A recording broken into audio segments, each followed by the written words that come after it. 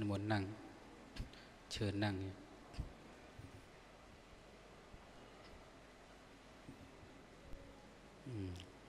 คณะกรรมการจัดงานเนินการถวายความเคารพพระเดชพระคุณเจ้าพระคุณสมเด็จพระพุทธชินวงศ์นะลำดับต่อไปขอเรียนเชิญพันเอกพิเศษ นิพนธ์ยางงามได้ดำเนินการต่อไปในพิธีต่อไป มีอะไรบ้างอ่าพระเดชพระคุณหลวงพ่อ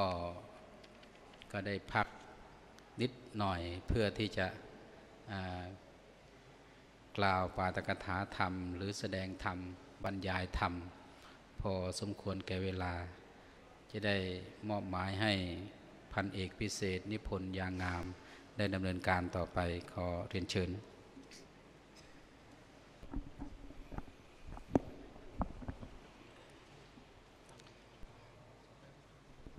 อถวายความเคารพ เจ้าพระคุณสมเด็จ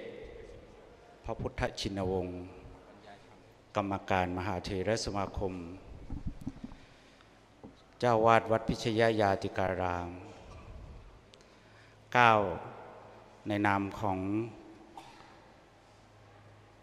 คณะสงฆ์วัดมหาธาตุยุวราชลังสฤษ พร้อมด้วยอุบาสก อุบาสิกา รู้สึกมีปีติ ในบุญกุศลครั้งนี้เป็นอย่างสูงยิ่ง ที่เจ้าพระคุณสมเด็จ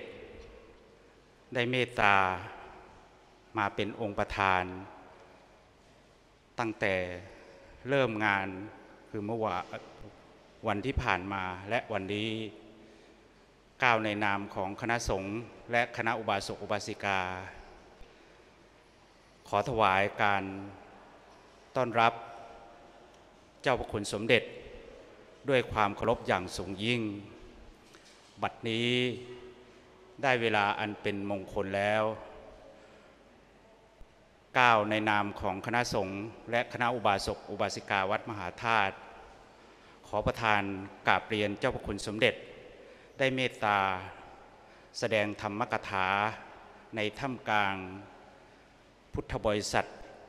ที่เปี่ยมล้นด้วยศรัทธาในวันนี้ด้วยความเคารพอย่างสูงยิ่ง ขอกราบรัตนาด้วยความเคารพอย่างสูงยิ่งครับ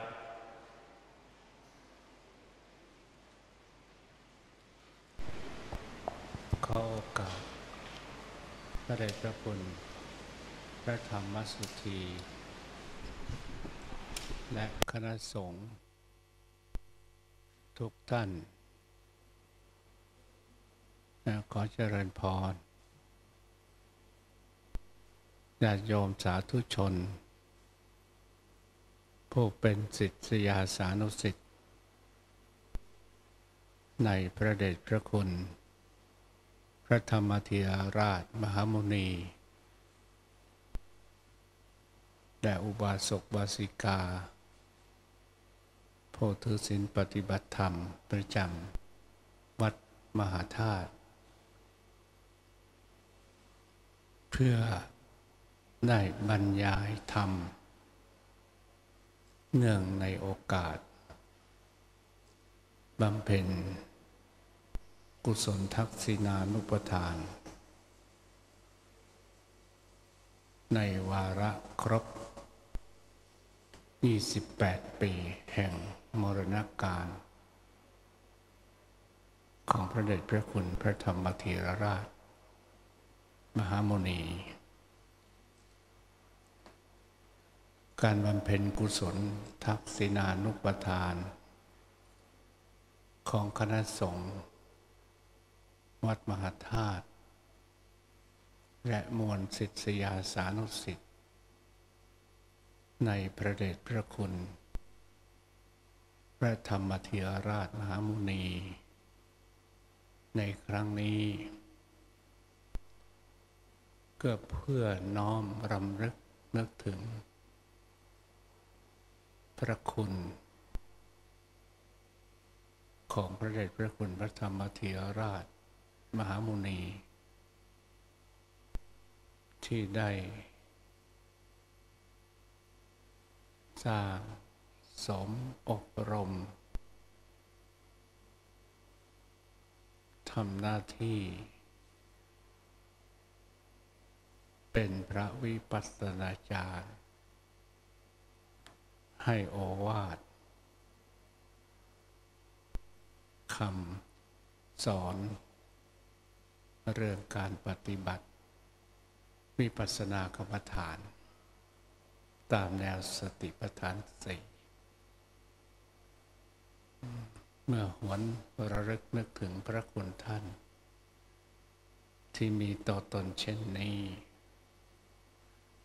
เมื่อวาระโอกาสเช่นนี้มาถึงแต่ละปี ก็ได้พร้อมใจกันบำเพ็ญกุศลทักษิณานุปทาน เพื่อถวาย กุศล บูชา คุณของท่าน ในทางพุทธศาสนา ได้แสดงเรื่องการบูชาไว้สองประการ ประการที่หนึ่งคืออามิสบูชา หมายถึงการบูชาด้วยเครื่องสักการะ เช่นทูบเทียนดอกไม้ พวงมาลัยของหอมหรือปัจจัยสี่เป็นส่วนอามิสบูชา บูชาประการที่สอง เรียกว่าปฏิปฏิบูชา หมายถึงการบูชาด้วยการปฏิบัติ คือการเอาคือการรับคำสอนของท่านที่ได้ แสดงไว้ เป็นพระธรรมเทศนาบ้าง เป็นปาฐกถาธรรมบ้าง เป็นบทความ เป็นบทประพันธ์ แล้วนำมาประพฤติปฏิบัติ เรียกว่าปฏิปฏิบูชา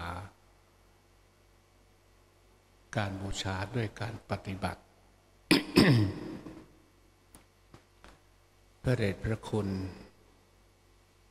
พระธรรมทีราราชมหามุนี ตามประวัติที่สำคัญ ท่านเปรียบเสมือนหนึ่งคำโบราณของไทยเรา ที่กล่าวไว้ว่า ช้างเพือกในป่า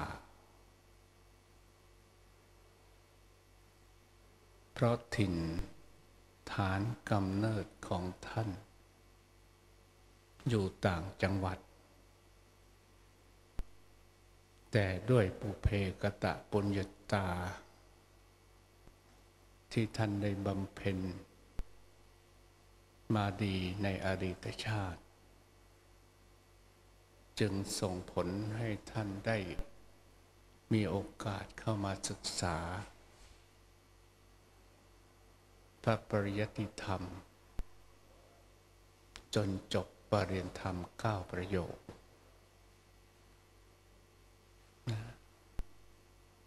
พระที่จบปรริญญาธรรมเก้าประโยคนั้น ก็ถือว่าเป็นยอดพระในประเทศไทยเรา แต่สิ่งที่เป็นยอดของยอด พระเดชพระคุณ ได้รับคำสั่ง จากเจ้าพระคุณสมเด็จ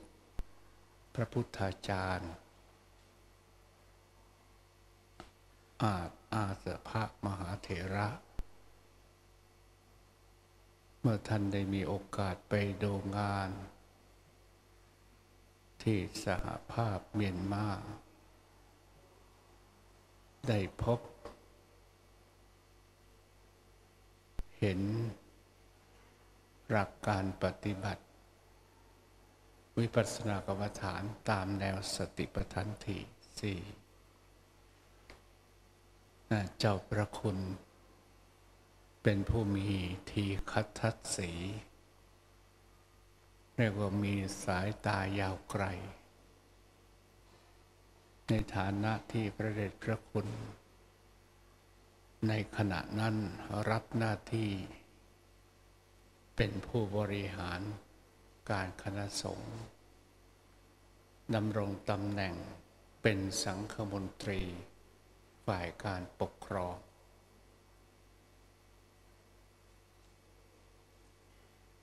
พระเดชพระคุณได้พิจารณา งานพระพุทธศาสนา ระหว่างประเทศไทย และประเทศเมียนมา ซึ่งเป็นประเทศที่นับถือพระพุทธศาสนา ฝ่ายเทราวาสเช่นเดียวกัน อาตมาเข้าใจความรู้สึกของ ท่านเจ้าประคุณสมเด็จว่าในขณะนั้น เมื่อมีข้อเปรียบเทียบกันแล้ว จะเห็นได้ว่า พระพุทธศาสนาในประเทศไทยเรา เมื่อเปรียบเทียบกับสหภาพเมียนมาแล้ว ยังมีข้อต่าง ข้อต่าง ทั้งในด้านการศึกษาพระปริยัติธรรม และในด้านการปฏิบัติติสัตธรรม โดยเฉพาะในด้านการปฏิบัติสัตธรรม ท่านเจ้าประคุณสมเด็จได้ไป ศึกษาดูงาน ที่สำนักปฏิบัติธรรม ศาสนาเยกตาหรือสำนัก มหาศรีสยาดอ ซึ่งเป็นสำนัก ปฏิบัติธรรม ตามแนวสติปัฏฐานสี่ในการเจริญวิปัสสนา ที่มีความเจริญรุ่งเรืองมาก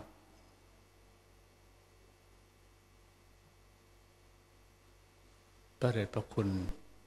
ท่านเจ้าประคุณคงจะเห็นความต่าง ความต่างในที่นี้คือความบกพร่องเรื่องการปฏิบัติ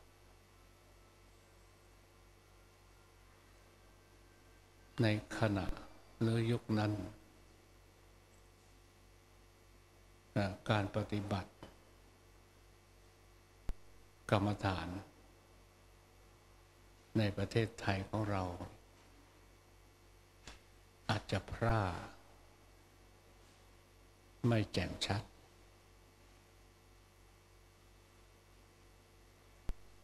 อัตมาให้คำอุปมาเองว่า เหมือนกับจระเข้กินเหยื่อ จระเข้กินเหยื่อนั้น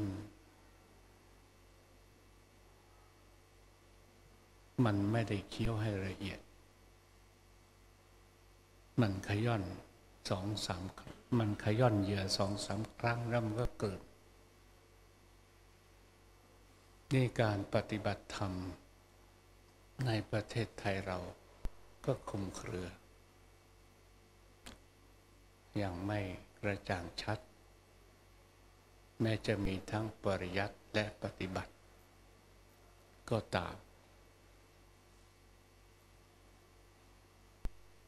ขาดความละเอียด ขาด การสอนที่อ้างอิง กับหลักคำสอนจากพระไตรปิฎกอัตถกถาดีกาเพราะฉะนั้นพระเดชพระคุณเห็นความพร่องตรงนี้ จึงได้ดำริ ที่จะพัฒนา เรื่องการปฏิบัติวิปัสสนากรรมฐาน จึงได้ส่งพระเดชพระคุณ พระธรรมเถรราชมหาโมนี ในขณะนั้นยังเป็นพระมหาโชดกอยู่นะไปฝึก ปฏิบัติ วิปัสสนากรรมฐาน ที่สำนักมหาศรีสยาดอนเป็นเวลาประมาณหนึ่งปี พระเดชพระคุณได้ตั้งใจ รับการฝึกอบรม ฝึกปฏิบัติวิปัสสนากรรมฐานตามแนวสติปัฏฐานสี่ หรือที่เรารู้จักกันในปัจจุบันนี้ว่าพองหนอยกหนอ โดยมี ท่าน